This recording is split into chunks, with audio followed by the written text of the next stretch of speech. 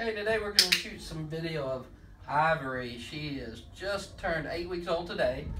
And as you can see, she's got a tremendous amount of concentration and focus for eight-week-old puppy. This is a great breeding. We have a lot of uh, future plans for this puppy. There's no doubt about her ability.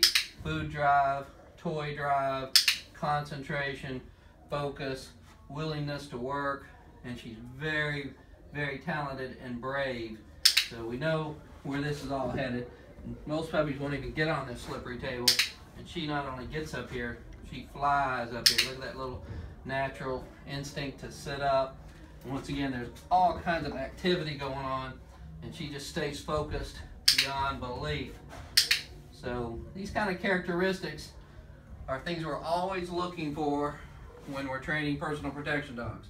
Concentration, focus, willingness to work, the ability to stay focused even when there's distractions going on, food drive, toy drive, these are all sources of motivation. So if you're going to train a dog, you got to have motivation.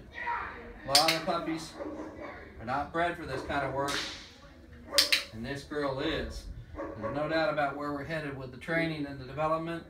We got concentration, we got focus, we got great genetics. This dog's grandfather is a very, very famous dog.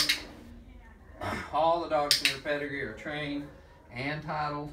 Genetics Matters. If you haven't seen that video, you want to go check out that video and learn about our breeding program and how we breed very specifically for this market, which is personal protection, not police dogs or military dogs.